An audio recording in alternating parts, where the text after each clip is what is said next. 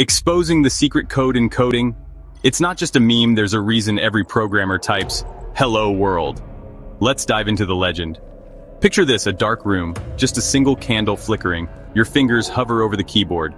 You type it out, hello world, echoes in the code cave. But where did this all begin? Travel back 1972. Brian Kernighan, legend of the C programming world, drops hello world in his book The C Programming Language. And boom, it's the sacred first spell for every programmer ever since. Fake quote time, let there be hello world. Definitely not in the book, but it should be. But seriously, why not Hi Universe? Or What's Up Galaxy? Why this phrase? Simple. Because tradition is tradition. And programmers love tradition almost as much as they love dark mode. Now here's where it gets weird. Imagine a room of hooded figures, okay? Just hoodie-wearing coders typing hello world in perfect sync.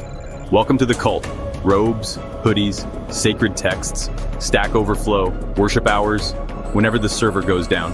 So next time you type hello world, remember you're not just running a program, you're joining a legacy and maybe, just maybe a coder cult. Welcome, Initiate.